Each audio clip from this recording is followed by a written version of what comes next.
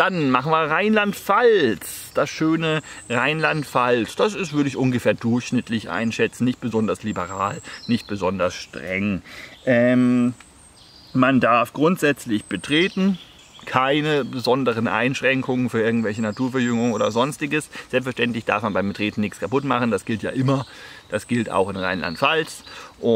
Aber sonst sind sie recht liberal und es gibt keine von vornherein ausgenommenen Flächen, außer die, die bundesweit ausgenommen sind. Das möchte ich an dieser Stelle auch noch mal kurz erwähnen, weil es hier in Rheinland-Pfalz äh, sonst so klingt, als könnte man alles betreten. Nicht forstwirtschaftliche Anlagen und auch nicht jagdliche Anlagen, sprich nicht auf den Hochsitz und nicht in den Schuppen, den der Förster da irgendwo vielleicht hat, wo er diverse Sägen drin aufbewahrt oder ähnliches. Da darf man dann jeweils nicht rein.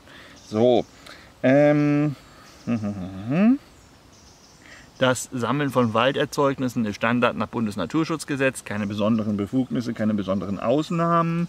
Äh, zum Holzsammeln gibt es überhaupt keine Angaben, man findet gar nichts, es hängt sehr von der Gemeinde vor Ort ab. Wenn man da also wirklich größere Mengen Holz sammeln möchte, mal abgesehen von winzigen Mengen, das geht ja immer, dann müsste man bei der entsprechenden Gemeindeverwaltung nachfragen.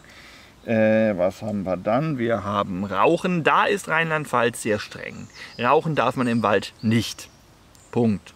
Nicht. Gar nicht. Nicht im Winter, nicht im Sommer, überhaupt nicht. Das könnte ich mir vorstellen, aber das weiß ich nicht genau, dass das dann gegebenenfalls vielleicht auch mal etwas eher kontrolliert wird als woanders, wo es nur temporär mal verboten wäre.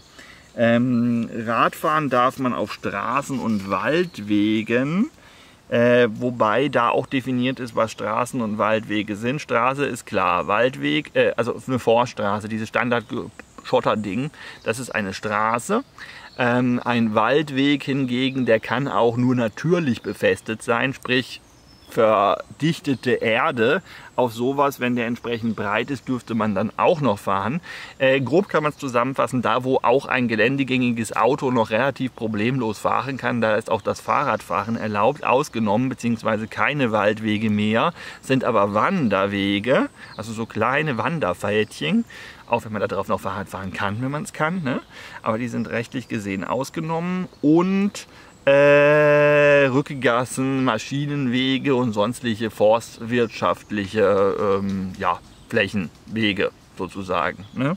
die dafür dienen, den Wald eben zu bewirtschaften. Das sind auch keine Waldwege in dem Sinne, dass man da drauf Fahrrad fahren dürfte. Will man ja auch nicht. Das macht darauf keinen Spaß, weil da liegen überall entsprechende Balken, Stöcke, Äste und so weiter und so fort. Da kannst du eigentlich nicht schön Fahrrad fahren. Also nicht so, dass es Spaß macht. Ne? Auch wenn man drüber kommen würde, natürlich. Ähm, Zelten mit waldbesitzerlicher Zustimmung. Das ist also wieder relativ liberal, ähnlich wie in Bayern. Kennt man einen Waldbesitzer äh, und der hat einen großen Wald und der sagt, ja, darfst du zelten, dann darfst du auch zelten. Das heißt, da braucht man sonst weiter nichts.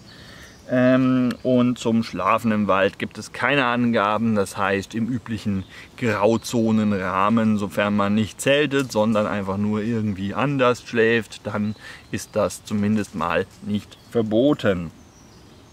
Recht kurzer Fall, das gute Rheinland-Pfalz. Haben wir es auch schon durch.